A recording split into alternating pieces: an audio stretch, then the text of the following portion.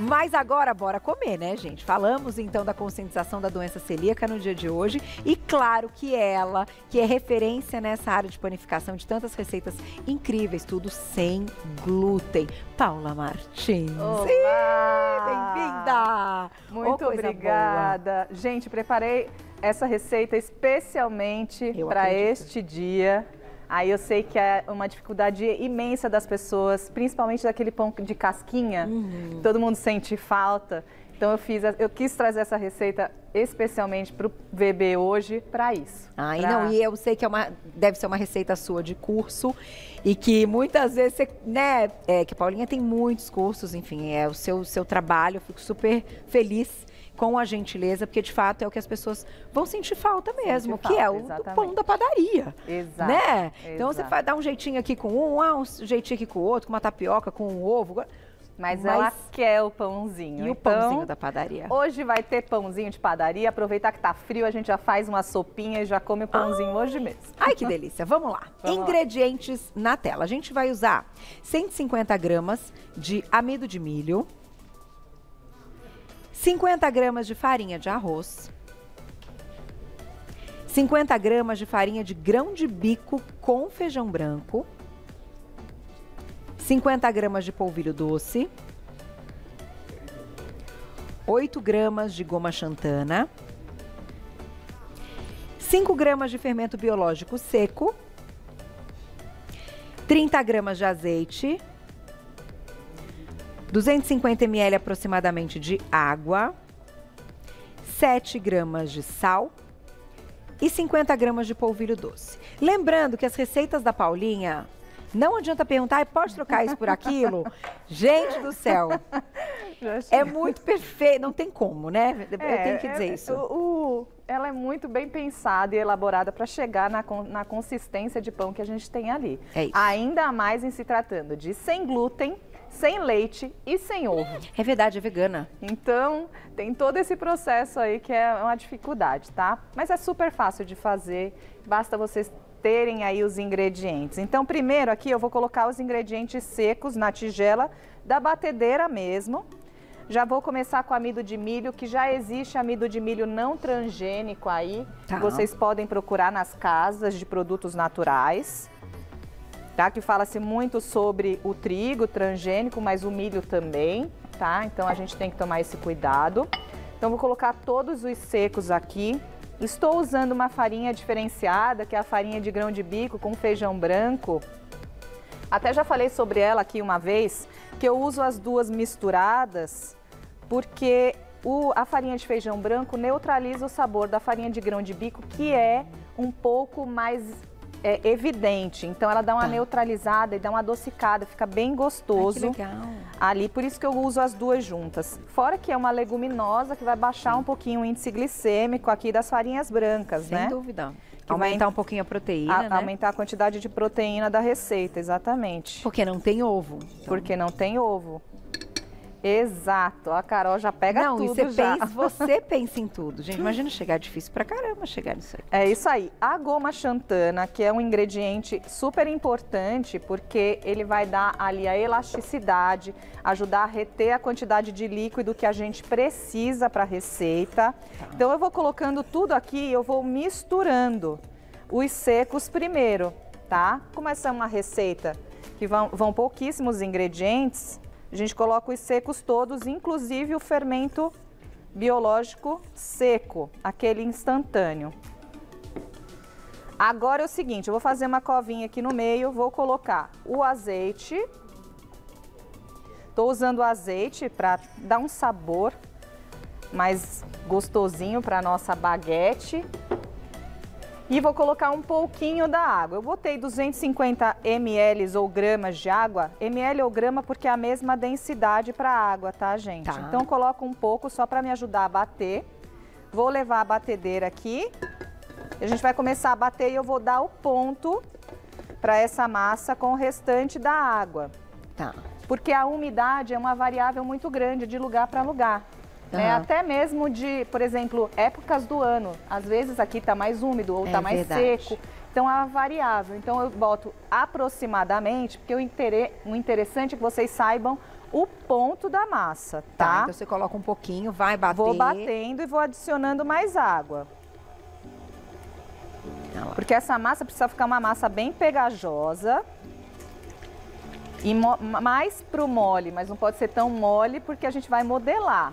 E quanto rende? É, rende uma grandona que você colocou na mesa? Eu acho que rende mais até, né? Rende mais. Rende aqui, essa receita rende até umas quatro unidades. Uau. Tá? Muito bom. Depende do quanto que você vai pesar. Aqui, por último, a hora que ela tá batendo e tá bem mais molinha, eu vou acrescentar o sal. Não tem erro, é só pesar, só pesar, bonitinho que nem tá na receita. Exatamente. E tá vendo que a massa já tá mais mole, grudando aqui na tigela? Ela gruda um pouco na tigela, então ela, é assim que ela tem que ficar. Se ela ficar tá. pesada demais, coloca mais água. E bate.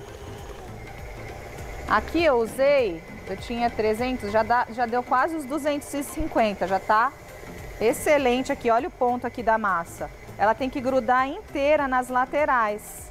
Ah, tá? entendi. Grudou, tá ok. Parece, ah, que legal. Parece que vai dar muito ruim, né? Mas Você fala é, assim... É, é, você viu como ela abre assim, ó, fica grudadinha? Você fala assim, nossa senhora, isso daí vai dar ruim, não é possível uma massa tão mole assim vai virar um pão. Que legal. Mas é isso que tem que ser, por quê? Quanto mais úmido tiver a nossa massa, mais tempo o nosso pão aguenta. Entendi. Quando ele não tem umidade, é aquele pão que vai ficar bom só a hora que assa. Ah, Depois fica duro de pedra. Entendi, esse por, aí não. Por isso que o clássico é ali trabalhar bem a hidratação da massa, tá? E você imagina chegar nesse ponto sem o glúten, que muitas vezes é o que vai que dá fazer tudo toda isso, a né? diferença. Né? Porque o glúten, o que, que ele faz? Ele faz uma trama e ele tem uma grande atração por líquidos e gorduras. Então ele faz aquela trama maravilhosa ali. Quanto mais glúten tem nele, melhor a trama lá do negócio. Por isso que a indústria coloca glúten aí na parada para ficar com um pão maravilhoso divino, tá? Entendi. tá? Então aqui o seguinte, a minha massa já está pronta, eu vou colocar um pouquinho de óleo aqui na bancada para eu colocar a minha massa aqui. Olha que massa bem grudenta, assim mesmo que tem que tá. ficar. Tá. Interessante essa de grudar na lateral. Eu vou trabalhar sempre com a mão untada, tá? Pode tirar. Tirar para te ajudar, para os meninos mostrarem bem. Quando a gente unta a mão, a gente consegue trabalhar bem a massa aqui. Vendo? Você vai fazer isso sempre com a bancada untada. Eu tenho aqui uh. uma balança que eu vou pesar e dividir e porcionar essa massa aí na quantidade que vocês quiserem fazer. Tá. Então a minha, eu fiz ali alguns pãezinhos de 185 gramas. Então eu vou porcionar para ficar igual. 181. Vou modelar um aqui, vou deixar o restante aqui para vocês verem, Ai, tá? Que bonitinha a sua balança. É, botei um pouquinho. Mas é de... bom, né? É legal. Eu, eu acho que ajuda e, e, primeiro que vai padronizar. Padronizar. O que também exatamente. deixa o trabalho bonito. E outra que a gente vai saber a quantidade também do que a gente está ingerindo, né? Quantidade que você vai querer, vai querer fazer. É. Então aqui é o seguinte, temos uma massa. Agora eu vou modelar a minha baguete.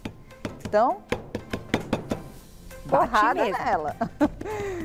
Bate com carinho, porque aqui não tem glúten, a gente não precisa mexer tanto. Então, é só alisar bem. Então, eu dobrei uma parte e você vem dobrando ela assim. Tá. Vai dobrando para fazer uma massinha mesmo. Ah, que bonitinho. E você vai modelando ela aqui. Olha lá, bonita. Tá? Né? O ideal é deixar ela bem lisinha, que eu tô de luva, ela vai ficando um pouquinho enrugada. Mas essa é a massa, tá? tá? Então aqui o que que acontece? Temos que deixar essa massa fermentar. Tá. Então ela tem um tempo de fermentação aí. Quanto tempo? Eu falo sempre, fermento não tem relógio, gente.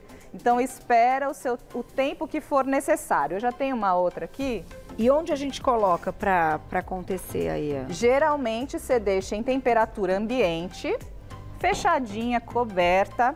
e deixa ela dobrar de volume. Eu fiz na mesma medida para mostrar essa diferença. Legal. Tá vendo? E quando você pega a massa, ela tá bem leve. Diferente hum. dessa outra aqui que tá mais pesada. Que tá pesada. Olha que interessante. E aí, depois que Com ela fermentou, quantidade. a mesma quantidade. Depois que ela fermentou, a gente vai cortar e levar para assar.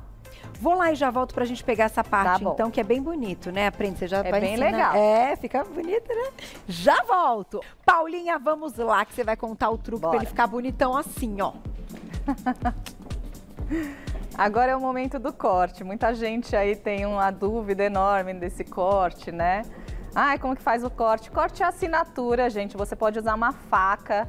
Aí, se você tiver mais afiadinha, aquelas facas lisinhas, tá? Eu tô usando uma gilete. Não, não é gilete? Não tem problema, é lâmina já foi. Lâmina. uma não lâmina. Tem problema. Já foi. Então, eu tô usando aqui porque fica mais fácil. E corte assinatura você faz do jeito que você quiser, tá? Sempre firme. Você vai colocar aqui e vai ah, desenhar. Desenhar o seu pão. Firme e com uma certa profundidade. Não precisa tá. colocar muita força, tá? tá para não abrir demais. Aí para assar, forno tem que estar tá estralando de quente. Forno para assar pão de casca é assim acima de 230 graus, tá? tá? Aí a gente tem um truquezinho. Truquezinho de vó, aqueles é. lá. Água, borrifa. Borrifa água no seu pãozinho, pode jogar uma farinha nele também. Coloca no forno. Bombou o forno. Bombou o forno e pode, ó. Ai, que legal! Pra fazer vapor aqui dentro. Ela sabe tudo. E aí você vai deixar lá bombando e depois vai controlando a temperatura para ele ficar, que aí ele tem explosão de forno lá dentro. E quanto tempo? 40 minutinhos. Vou tá? passar então agora os ingredientes para nossa pastinha, hein? Pastinha de ervas, 150 gramas de queijo cottage, um quarto de xícara de chá de ervas secas a gosto, fiozinho de azeite, pimenta do reino também a gosto. E essa pastinha é tudo, tudo. Que você só mistura tudo. E, ó, fácil, é gostosa, café da manhã, pode ser lanchinho da tarde. Aquele queijinho que é mais light, que é o cottage. Só misturar aqui com as ervinhas, pode ser as que você tiver aí na sua casa, lemon pepper, ervas de Provence, o que você quiser fazer. É que tudo. De salsinha, põe um azeitinho assim, só para dar um saborzinho ainda mais gostoso. E mistura, simples assim, gente. Fica incrível, tá? Olha isso. Show. E dá uma temperada no cottage, né? Que é um pãozinho mais você quer montar aqui, quer levar essa para o nosso prato? Essa tá quentinho? Essa tá quentinha. Então, peraí que Mas eu, eu quero mostrar ah, o croque. Tá bom. Vou pegar tá? o prato. Menina, olha só, igualzinho. Pãozinho olha. de casca de padaria. Nossa, gente, vocês viram? Só que sem glúten, né? Só você mesmo, parabéns. Doutor Gustavo tá esperando para comer, você pode, né, doutor Gustavo? Esse ele pode, esse, esse ele pode. pode. Doutor um Gustavo que já foi meu aluno até, hein? Gente, olha que máximo, tá vendo? É que, é, eu falo, é, é tão legal o trabalho desses profissionais que fazem assim, com amor, porque não é fácil chegar tá nisso que a gente está vendo nem na textura, nem no sabor, na crocância. Fácil é colocar o glúten, né? Tirar é que é difícil. Então, assim, Amém. parabéns, Paulinha. Ó, se quiser colocar de um ladinho o patezinho do outro pãozinho, eu bem vou comer.